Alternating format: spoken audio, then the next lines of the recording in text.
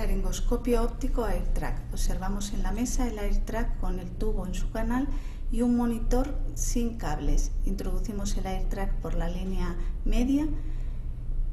En algunas ocasiones eh, podemos elevar el mango hacia arriba y hacia adelante para que podamos posteriormente deslizar el tubo.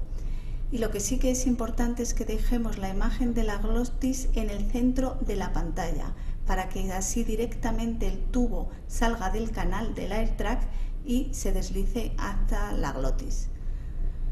Al final, una vez que hayamos intubado con el AirTrack, como vemos en la imagen, lo que haremos es eh, deslizar el tubo lateralmente y sacaremos el AirTrack de la boca de forma cuidadosa.